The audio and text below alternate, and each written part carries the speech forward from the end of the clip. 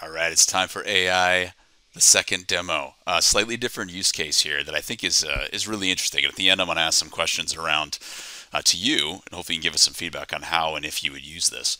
But really, I'm going to use AI to help with the tag mapping problem. Uh, and so let me explain that.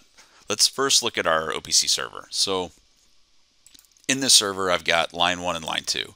Line one is nice, line two is not not nice. Let's put it that way. So what do I mean by that? If you go in and look at the assets in line one, you have nice uh, tag names. You know, anyone can come in here and kind of understand this is RPM, power kilowatts, etc. There's three crusher machines in here um, that use similar naming. Mach-X is is uh, obviously not named crusher, but you get the idea. Like this is not this is not bad. This is fairly easy to map and understand contextually just by the names what's in here. Uh, line two, not so much. So line two is a little more real world, right? Where tag names are uh, there's some amount of standardization to them, but they're not human readable. Uh, so in here you can see that you know HZ might be Hertz. I'm not sure. Uh, I've got the same layout where I have crushing machines. You can see that these addresses are a little different, but they do they do follow the same formatting, uh, but they're a little little different. And there's some extra ones in here. And then down here I've added two other crushing or one other crushing machine. Sorry, but I didn't call it crusher.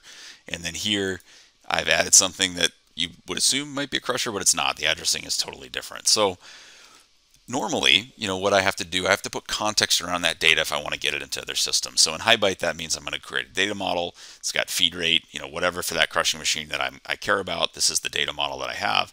And then what I'm going to do is go and create instances. And I'd run this demo before, so I'm just going to delete a few of these. Okay. Uh, so I've got my crushing machine instance, and down here I have the data model on the left, and I'm going to go through, because I'm at the site and I understand what this stuff is, I'm going to go through and manually map these out.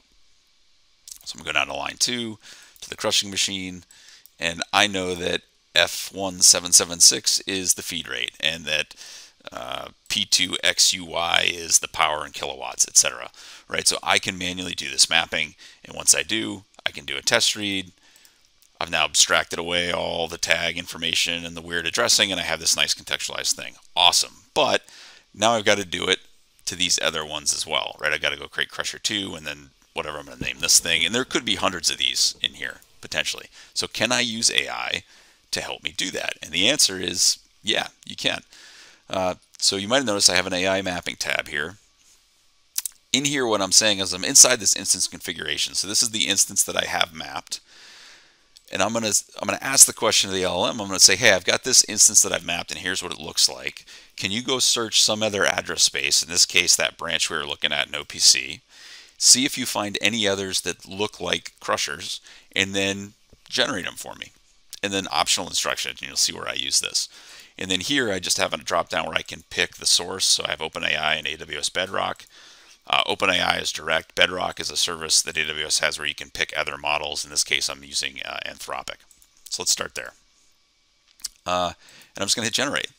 So what we're doing behind the scenes is we're passing the LLM the instance configuration, and then we're going and reading the address space, scrubbing the values, and then passing the address space to the LLM and saying, hey, can you find any more of these instances inside this LLM? And if you can, map them for me and return the result. Uh, and you can see it's it's working at it. Uh, and it found some results. So in here, uh, the first thing you'll notice is Crusher 1 is not in here. Sometimes it is. It'll pull back Crusher 1, but it, it, realized that that was the example we sent it, so that's in there. But it found these instances. So it found Mach-X, and when I click on here, what I've done is I'm showing you the attributes that it's mapped to and where in this address space that we, we passed it, those are mapped. And you can see this looks correct. Um, and then if we do Crusher 2, same thing. So it went and found uh, Crusher 2. Pretty cool, right? And then what I can do is I can just hit import or import all. And then if I launch a new tab